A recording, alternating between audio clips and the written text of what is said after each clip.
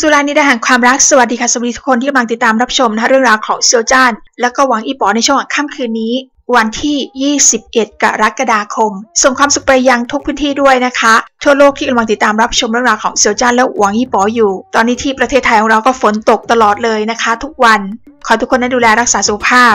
ขอพระเจ้าอวยพรทุกท่านค่ะจบไปแล้วสำหรับลำนำกระดูกหยกนะคะเมื่อวานต้องถือว่าวันแบบเศร้ามากๆ เศร้ามากคือคาดหวังว่าจะเห็นสื่ออิงเนี่ย มีความสุขในตอนท้าย สรุปแล้วนะครับสื่ออิงเป็นคนที่โชคชะตาคือมันโหดร้ายเกินไปอะ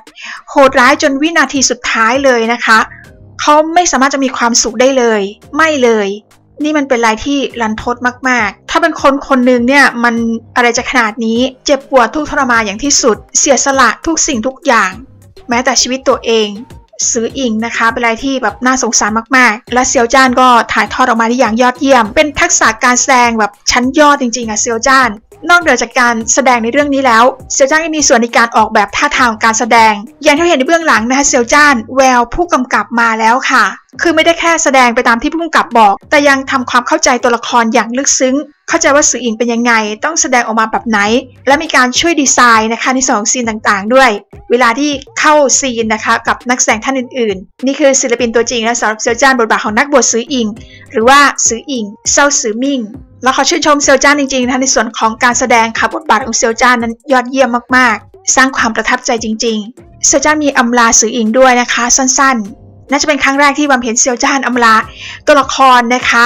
ในวันสุดท้ายของการออนแอร์เนี่ย ได้สั้นที่สุดกับคำว่าอิงและเขียนคำสั้นๆ ถึงสื่ออิงนั่นเองเซียวจ้างมีข้อความบอกว่าท่านและกับผมก็ล้วนเป็นหนึ่งในสรรพสิ่ง ทางเลือกทุกก้าวนั้นก็ล้วนมีคุณค่า ปกป้องยืนหยัดและทนุถนอม ท่านทำได้ดีมากๆ ใจคนก็ไม่ใช่นกที่อยู่ในกรงแต่เป็นหญ้าบนที่ราบ เพียงแค่ลมพัดก็อาจจะฟื้นคืนชีพ ฟังสิ ลมใกล้จะพัดมาเร็วๆนี้แล้ว ไม่ต้องอธิบายนะคะว่าเซียวจ้านจะรักตัวละครตัวนี้มากขนาดไหน และสื่ออิงตายค่ะคุณผู้ชม คิดดูว่ามันหัวใจมันจะขนาดไหนแล้ว ขนาดเราที่เป็นคนดูเนี่ยวันเมื่อวานนี้ อารมณ์มันดำดิ่งมากๆอะ่ะ คือสงสารสื่ออิงอย่างที่สุดแล้วอะ่ะร้องไห้ไม่เคยดูซีรีส์แล้วรู้สึกแบบรันทดมากขนาดนี้กับชีวิตของคนคนหนึ่งเพราะว่ารู้สึกว่าสื่ออิงไม่มีตัวตนอยู่จริง อยากจะเห็นเขาแบบมีความสุข มีครอบครัวที่น่ารัก อยู่ในบ้านปลายชีวิตที่เดินแล้วมีกุหลาบหิมะแสนสวย พร้อมกับหญิงสาวที่สื่ออิงรัก แต่มันก็ไม่เป็นตามนั้นค่ะมันโหโหดร้ายมากๆ จริงๆแล้วคนเรานะคะ อยู่เหนือขอกรรมไม่ได้อยู่ใต้ขอกรรม เราสามารถที่จะเอาชนะมันได้เหมันที่สื่ออิงเคยพูด แต่เอาไปเอามาเรื่องมันก็จบแบบนี้ ก็ไม่เป็นไรนะคะนั่นคือในส่วนของละครค่ะซึ่งก็เป็นงานของเซียวจ้านที่เซียวจ้านถ่ายทอดออกมาได้อย่างยอดเยี่ยมและดีมากๆ ก็ได้รับความชื่นชมทั่วหน้า ทั้งในส่วนของเรตติ้งแล้วก็การแสดงต่างๆนะคะตัวละครสืออิ่งนั้นยืนหนึ่งตั้งแต่วันแรกที่ออกอากาศแล้วไม่ว่าจะเป็นข้อมูลที่เหมาเยียนหรือว่าจะเป็นที่ Vlinkage นะคะ ยืนหนึ่งสำหรับตัวละครนักบวชสืออิ่ง ข้อมูลจากเหมาเยียนล่าสุดนี้นะคะสำหรับลำนำกระดูกหยก ยืนในอันดับที่หนึ่งของรายการละครยอดนิยมนะคะ ถึง 16 ครั้ง เซียวจ้านผู้ที่รับบทบาทสืออิ่งก็กลายเป็นตัวละครยอดนิยม และติดอันดับนะตัวละครยอดนิยมประจำสัปดาห์ของเหมาเยียนเนี่ยสองสัปดาห์ติดกันเลย อย่างที่เราทราบที่เทนเซนต์สำหรับตัวละครสื่ออิงก็ถือว่าเป็นตัวละครแรกในประวัติศาสตร์ของเทนเซ็นต์เลยนะคะ ที่ได้รับความนิยมทะลุไปมากกว่า 40 ล้าน ประสบความสำเร็จจริง ๆ นะคะเซจัสโซก็มีอัพคลิปน่ารักนี้ด้วย บอกว่าขอโทษครับเขาจีอีเนี่ยไปยังไง ผมอยากไปฝากตัวเป็นสิทธิ์โชคดีที่ได้ใช้ช่วงเวลาหนึ่งเนี่ยร่วมกันกับซื้ออิง กล่าวคำอำลาตรงนี้เลย และยังมีคลิปอำลาซื้ออิงด้วยนะคะในช่วงเมื่อวานนี้ค่ะ งดงามมากๆ รวบรวมซีนนะคะต่างๆ ที่เซียวจ้านนำแสดงบทบาทของสืออิ่งในเรื่องนี้ลำนำกระดูกหยก ทันใดนั้นเมื่อมองย้อนกลับไปทุกอย่างกลายเป็นอดีต และฉันช่างโชคดีที่ได้พบกับสืออิ่ง ตรงนี้ทางด้านของ Netflix เนี่ยก็มีฉายด้วยนะคะสำหรับลำนำกระดูกหยก สามารถรับชมได้ค่ะ แล้วก็มีชื่อไทยที่ยาวมากๆ โชคชะตาฟ้าลิขิต ความคนึงหากลายเป็นชะตากรรมความยาวทั้งหมดก็จะ 43 EP ด้วยกันนะคะสำหรับเวอร์ชันที่เราดูทาง WeTV จะมีบาง EP ที่ความยาวชั่วโมงครึ่งตรงนี้บามก็เพิ่งจะทราบเหมือนกันนะคะ ต้องขอบคุณทางด้านของเซอร์จัน FC Thailand ที่ได้ให้ข้อมูลนะคะว่า ที่จีนก็มีกฎว่าซีรีส์เนี่ยห้ามความยาวเกิน 40 EP เพราะฉะนั้นนะคะสำหรับคนที่ติดตามรับชมที่ Netflix ก็จะเป็น 43 EP ด้วยกัน ในชื่อโชคชะตาฟ้าลิขิตความคนึงหากลายเป็นชะตากรรม จากที่ดูเรื่องนี้นะคะ ก็ได้ภาษาจีนเพิ่มมากขึ้นเยอะมาก ๆเลย เพราะว่าเราอ่าน sub แล้วก็ฟังเสียงเซียวจ้านพูด แล้วก็นักแสดงท่านอื่นๆนะคะ ที่แสดงเรื่องนี้เราก็ได้เรียนรู้ภาษาจีนไปด้วย ส่วนบางท่านอาจจะรอคอยเรื่องของการพากย์ไทย ก็ต้องรอไปนิดนึง ตอนนี้ยังมีเพียงแค่ sub เท่านั้นนะคะ ในส่วนของเบื้องหลังค่ะอย่างที่เราเห็น สืออิ่งจูเหยียนถ่ายทำฉากสมรสลุ่มลุ่มดอนดอนความเข้าใจระดับ ผู้ประกอบการของสืออิ่ง เป็นจริงอย่างไม่คาดฝัน คืนนี้มาชมรอบ final หลังสมรสสองคนพยายามเผชิญหน้ากัน อย่างไม่ง่ายลุ่มๆดอนๆขนาดนี้ น่ารักมากเลยนะคะเบื้องหลังเซียวจ้าน แล้วก็คุณเหรินหมิน แล้วก็มีเบื้องหลังค่ะ ฉากสืออิ่งแล้วก็ต้าซือมิ่ง นี่เป็นซีนที่คุณหานโต้งนะคะ ผู้รับบทบาทต้าซือมิ่งเนี่ยบอกว่าชอบมากๆมันเป็นการเชือดเฉือนกันนั่นเองนะคะระหว่างสองนักแสดง งานโหดงานหินนะคะงานฝีมือ แล้วก็ยังมีรวบรวมนะคะเบื้องหลังซีนจูบด้วยสำหรับเซียวจ้านแล้วก็นางเอกของเรื่องนี้ทำ love scene ออกมาได้สวยงามมากๆเลยนะคะ เรื่องนี้คือมันว่ามันไม่เยอะไม่น้อยเกินไปอะมันอยู่ในระดับที่กำลังพอดีสำหรับลำนำกระดูกหยกทำออกมาได้สวยงามค่ะได้สวยงามจริงๆ มันเป็นสิ่งที่ควรจะเป็นตามเนื้อเรื่องที่มันเกิดขึ้น จังหวะที่สมควรจะจูบพระเอกจูบมันก็ใช่ ชื่นชมจริงๆนะคะสำหรับฉากจุมพิตฉากจูบในเรื่องนี้สวยงามทุกครั้งเลยค่ะ อย่างที่เราเห็นนะคะเบื้องหลังพระนางก็ช่วยกันส่งนะคะ mini heart แบบใหม่ เป็นการร่วมงานกันที่น่ารักนะเซียวจ้านแล้วก็คุณเหรินหมินค่ะ เป็นซีรีส์ที่เต็มไปด้วยการปล่อยแสงจริงๆนะสำหรับซีรีส์เรื่องนี้เพราะมันเป็นเรื่องราวเกี่ยวกับอาคมนั่นเอง ผู้ที่เรียนอาคมนั้นเรียนอาคมเพื่อสิ่งใด ก็เพื่อช่วยเหลือปวงประชาจากอันตรายCG อลังการงานสร้างนะคะ เพราะว่าเป็นซีรีส์ในแนวแบบเวท วิชาเวทอาคมต่างๆ CG ตอนซีนมังกรนี่ก็ทำได้ดีมากๆค่ะ คือร้องว้าวตลอดนั่นแหละสำหรับเรื่องราวของ CG กับซีรีส์เรื่องนี้แล้วก็ชื่นชมนักแสดงทุกท่านนะคะเซียวจ้านนะคะ คุณเหรินหมิน และนักแสดงทุกท่านในเรื่องนี้ ทุกบทบาททุกตัวละครนะทำให้เราประทับใจอย่างที่สุดเลยค่ะ ยอดเยี่ยมมากๆ ส่งท้ายเรื่องราวของเซียวจ้านในช่วงวันนี้ค่ะกับงานโฆษณาของเซียวจ้าน2แบรนด์ด้วยกันนะคะ ในฐานะของแบรนด์ spokesperson ไม่ว่าจะเป็นเบียร์ชิงเต่าหรือว่าจะเป็นเดตตอเดตตอนี่ปล่อยโฆษณาใหม่ออกมาค่ะ เป็นโฆษณาตัวเต็มฉลองครบรอบ 90 ปีของ Dettol เซียวจ้านหล่อน่ารักมากๆเลยนะคะ เป็นแบรนด์ที่ทุกบ้านนั้นมีใช้ ยิ่งเซียวจ้านมาโฆษณาเนี่ยเราก็ยิ่งซื้อใช้ เขาบอกว่าชวนคุณเดินทาง 90 ปี และย้อนรอยพลังแห่งการปกป้องปฏิกันร่วมกับเซียวจ้านแบรนด์ spokesperson ส่วนเบียร์ชิงเต่านะคะเซียวจ้านก็มาอวยพรด้วยค่ะอวยพรให้กับแบรนด์นี้ ในวาระที่มีโอกาสอายุยาวนานถึง 120 ปีค่ะ ก่อนหน้านั้นเนี่ยได้มีโฆษณามาแล้วเป็นหนังสั้น เซียวจ้าหล่อมากๆเลยนะคะ ในโฆษณานั้น ส่วนในคลิปสั้นๆนี้เซียวจ้าบอกอวยพรค่ะ บอกว่าอวยพรให้แบรนด์นั้นในโอกาสที่อายุยาวนานถึง 120 ปี ในอนาคตนั้นเราจะยังคงไล่ล่าฝัน และสร้างอนาคตที่ดีกว่าไปด้วยกัน was born to love.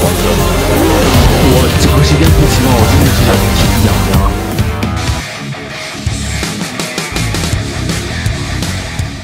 ไว้บริงานยาวๆไปเลยนะคะ ไม่มีวันหยุดค่ะพี่น้องสำหรับในช่วงระยะเวลานี้ และวันนี้ค่ะ อย่างที่เราเห็นนี่แหละ เดินพรมแดงนะคะ งานฉลองครบรอบ 14 ปีของต้นสังกัดนะคะ YH Entertainment ร่วมกับศิลปินในค่ายด้วย ส่วนในช่วงวันพรุ่งนี้ก็ต่อเลยนะคะ คอนเสิร์ตของ YH Family ที่มาเก๊า ตอนนี้คลิปต่างๆ จาก Official ยังไม่ออกมานะคะ มีเพียงแค่คลิปนี้เท่านั้นเอง ซึ่งก็เป็นคลิปจากต้นสังกัดนะคะ เย่หัว ที่เพิ่งจะอัพในช่วงเย็นวันนี้เราจะเห็นพิธีกรในงานนะคะเรียกว่าอี้ป๋อว่าป๋อเกอป๋อเกอ ก็คือพี่ป๋อนั่นเอง พี่ป๋อนั่นเอง จากที่เคยเป็นมักเน่ค่ะตอนนี้กลายเป็นพี่แล้ว และเป็นศิลปินเบอร์หนึ่งของค่ายด้วย ต้นสังกัด YH และในช่วงวันที่ 22 กรกฎาคมนะคะวันพรุ่งนี้ค่ะเริ่มต้นช่วงเวลา 19นาฬิกา30นาทีเนี่ยคอนเสิร์ตเริ่ม สำหรับ YH Family Concert 2023 วันนี้ป๋อร่วมงานอยู่แล้วอย่างแน่นอนที่สุดนะคะ ตอนนี้ก็ standby แล้วสำหรับการร่วมงานที่มาเก๊าเหมือนกับศิลปินที่อยู่ในต้นสังกัดของ YH ก็จะเป็นงานที่สร้างความสุขแล้วก็สนุกอีกแล้ว ในช่วงปีที่ผ่านมาเราก็ยังมีความสุขอยู่เลยนะคะกับสไตล์การเต้นของหวังอี้ป๋อส่วนในช่วงปีนี้จะเป็นอะไร จะสไตล์การเต้นแบบไหนเราก็ต้องรอติดตามค่ะ การแสดงของหวังอี้ป๋อก็จะเป็นไฮไลท์อยู่ตลอด วันพรุ่งนี้เราจะเห็นทะเลสีเขียวค่ะ จะเห็นอะไรที่เป็นเขียวๆ น่าที่จะเหมือนกับปีที่ผ่านมา เหมือนกับเป็นงานของวายปอจริงๆนะคะ เขียวไปทั้งหอจริงๆ คอนเสิร์ตของ YH Family เนี่ยเปิดให้จองบัตรตั้งแต่ช่วงของเดือนมิถุนายนแล้วค่ะ